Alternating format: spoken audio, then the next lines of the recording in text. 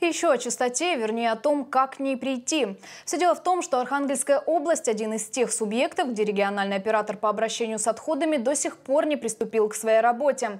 Ведь обновленная терсхема, которой он должен руководствоваться, до сих пор не утверждена. Отсюда возникает масса вопросов о том, что же нас ждет. В некоторых из них попробовали разобраться участники дискуссионной площадки, организованной «Единой Россией», рассказывает Алексей Карельский.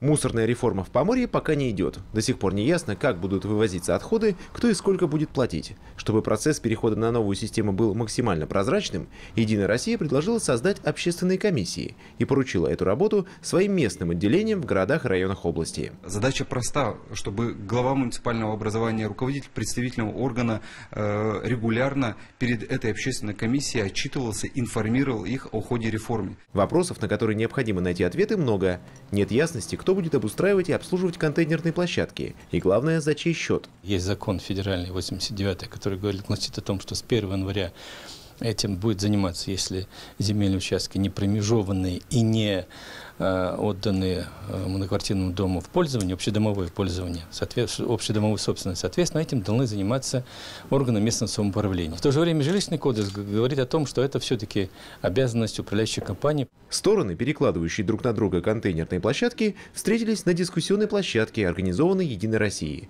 Администрация Архангельска, кивая на управляющие компании, оперирует разъяснениями из Госдумы и Минстроя. Если раскрыть тариф, то там первым же пунктом получается организация мест сбора стыков.